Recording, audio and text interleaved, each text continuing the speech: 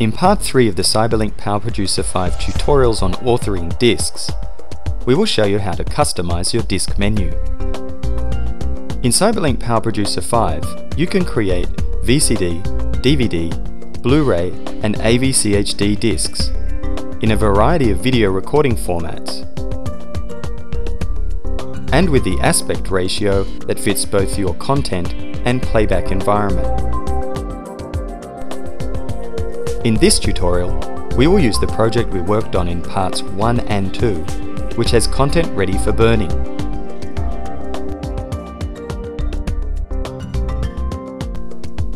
When you enter the Customize menu window,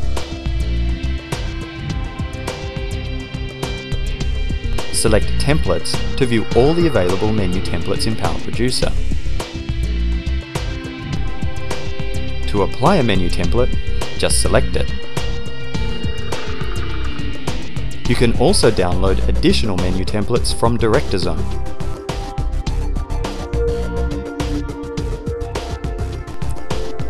DirectorZone has thousands of free menu templates created by CyberLink PowerProducer users.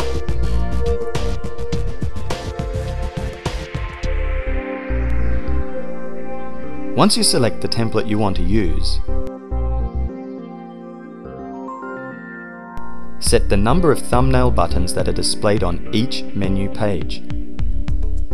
The number of thumbnail buttons that can be displayed is dependent on the design of the menu template. Disk menus in CyberLink PowerProducer 5 contain up to three layers, or pages.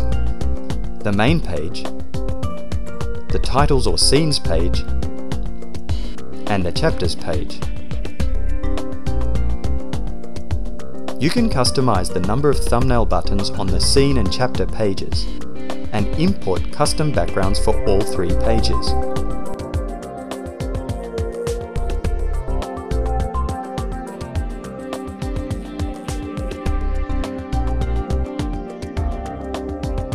Let's first import a custom background on the main page of our menu by selecting the Add to Template button.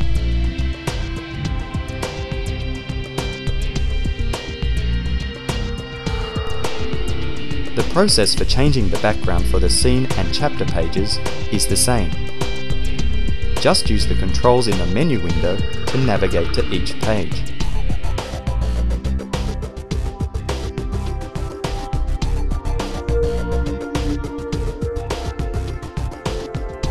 You can use your own photos as the background, adding a personal touch to your disk menu.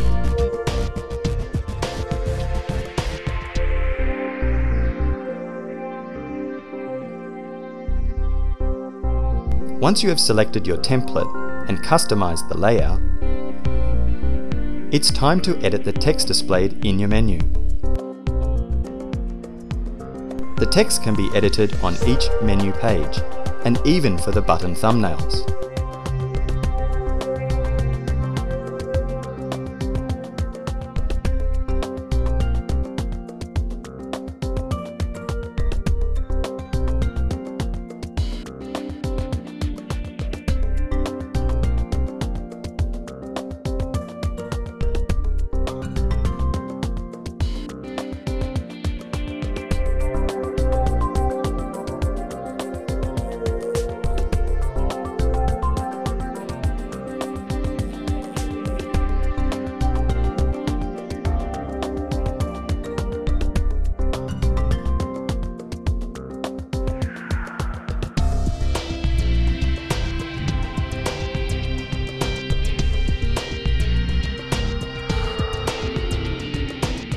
You can also import your own music to use as the menu background music, replacing any default music that was applied to the template.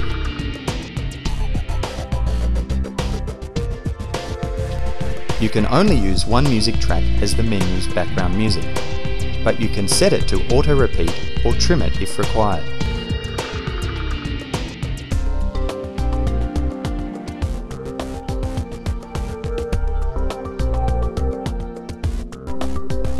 Before burning your disk, select the Preview tab to preview what your disk will look like on your disk player.